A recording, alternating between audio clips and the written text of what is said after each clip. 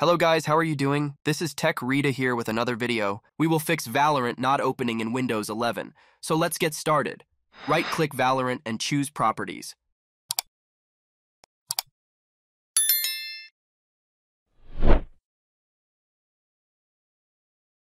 Under the Compatibility tab, tick the box of Run this program in compatibility mode, then choose an older OS. Click the drop-down list and choose an older version of Windows. Click on OK to save the changes. Launch Device Manager by searching for it on the search bar. Expand display adapters by clicking the toggle. Right-click the GPU driver and choose Scan for hardware changes.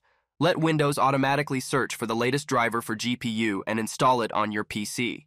Launch Task Manager in Windows 11 by typing Task Manager into the search box and clicking the result.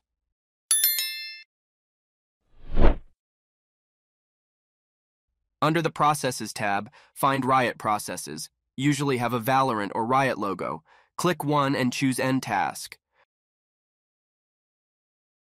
Press the Win plus X key combination and choose Settings. Choose the Windows Update button from the left pane. Click the Check for Updates button and wait for Windows to check install them. Click the Search button, type in Control, and open the Control panel.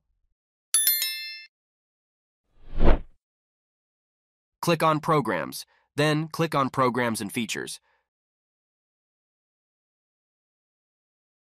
Select the game and click on Uninstall.